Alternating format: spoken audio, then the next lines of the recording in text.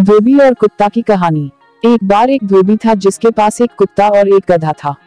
दोनों ने अपने स्वामी को विभिन्न कार्यों में अपने अपने अनूठे, व्यक्तिगत तरीकों से सहायता की थी।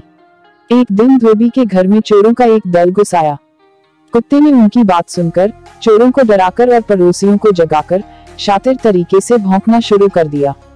चोरों ने जितनी जल्दी हो सके भागने की कोशिश की लेकिन उन्हें रोक दिया गया और पड़ोसियों द्वारा रंगे हाथ पकड़ लिया गया, जो अब अपने घरों से बाहर आ गए थे। यह जानना चाहते थे कि कुत्ता देर रात क्यों भौंक रहा था। शोर और हंगामे के कारण जागने के बाद धोबी अपने कुत्ते के बारे में कम से कम कहने के लिए खुश था और इसलिए उसके पड़ोसी भी थे। कुत्ते की पड़ोसियों ने बहुत प्रशंसा की और खुद धोबी को अपने कुत्ते पर बहुत गर्व था। गधा, जो चुपचाप यह सब देख रहा था ने सोचा कि वह भी धोबी के काम आ सकता है और यह साबित कर सकता है कि वह अपने साथी कुत्ते की तरह ही प्रशंसा पाने में सक्षम है। दूसरे दिन एक बार फिर चोरों का जोड़ा घर में घुस आया। लेकिन इस बार उन्हें घर के अंदर कुत्ते के बारे में पता था और वे इससे सावधान थे। उन्होंने कुत्ते की खोज की और उसे घर के बीच में बैठा पाया। पिछली परिस्थितियों के कारण पूरी तरह जाग गया। यह देखते ही चोरों ने भागकर दूसरे घर में लूटपाट करने का फैसला किया। इस बीच गधा यह सब देख रहा था।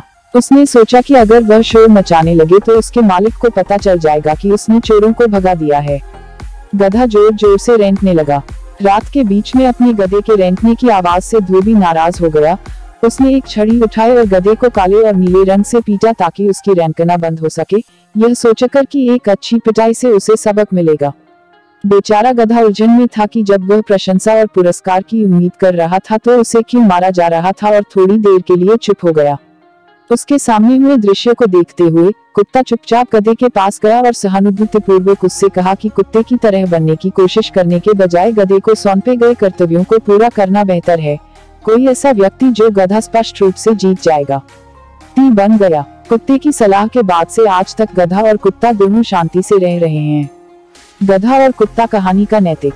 कहानी का नैतिक यह है कि आप किसी ऐसे व्यक्ति के होने का ढूंढ न करें जो आप नहीं हैं और आपका सच्चा स्वाभाविक स्व होना और वह सब कुछ करना जो आपको सौंपा गया है और दूसरों की गतिविधियों में शामिल होने के लिए स्वयं सेवा न करें। गधे और कुत्ते की कहानी की नैतिकता को पढ़कर, बच्चे दूसरों की नकल करने के बजाय वास्तव में होने और इसका आनंद लेने के महत्व को समझेंगे, क्योंकि मूल हमेशा सबसे अच्छा होता है। माता पिता के लिए उद्देश्य कुत्ते और गधे की यह छोटी कहानी बच्चों को मानव व्यवहार पर अपने ज्ञान को व्यापक बनाने में मदद करेगी। अपने कहानी पठन सत्र का आनंद लेने के अलावा, बच्चे दूसरों की नकल करने की कोशिश करने के बजाय खुद का सर्वश्रेष्ठ संस्करण बनने की कोशिश करते हुए अपना जीवन जीने की कोशिश करेंगे। इसके अलावा माता पिता को बच्चों को गधे और कुत्ते के सारांश को स्वयं पढ़ने के लिए प्रोत्साहित करना चाहिए, जिससे उनकी पढ़ने की आदतों, ध्यान देने की अवधि और कहानियों के प्रति प्रेम में सुधार हो। कहानी सुनाना माता पिता और बच्चों के बीच के बंधन को भी मज़बूत करता है, जिससे वे कहानी सुनाने के ऐसे और सत्रों के लिए तत्पर रहते हैं।